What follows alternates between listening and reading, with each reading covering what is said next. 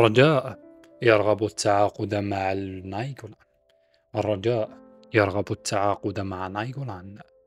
دخل نادي الرجاء الرياضي في مفاوضات جادة لضم الدولي البلجيكي السابق راتشان نايغوران إلى صفوف الفريق خلال فترة الانتقالات الصيفية المقبلة وأكدت مصادر من داخل المكتب المديري للرجاء الرياضي في تصريح لهوتسبور أن المفاوضات جارية مع اللاعب في أفق ضمه خلال الميركاتو الصيفي مشيرة إلى أن تفاصيل مالية تؤخر حسم الصفقة إلى حدود اللحظة. جدير بالذكر أن نايغوران صاحب 36 عام لعب الموسم الماضي لنادي ياراغوسولو الإندونيسي حيث خاض عشر مباريات.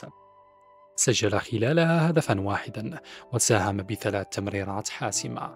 وسبق لنايغولان أن لعب لروما وكالياري وإنتر ميلان في إيطاليا.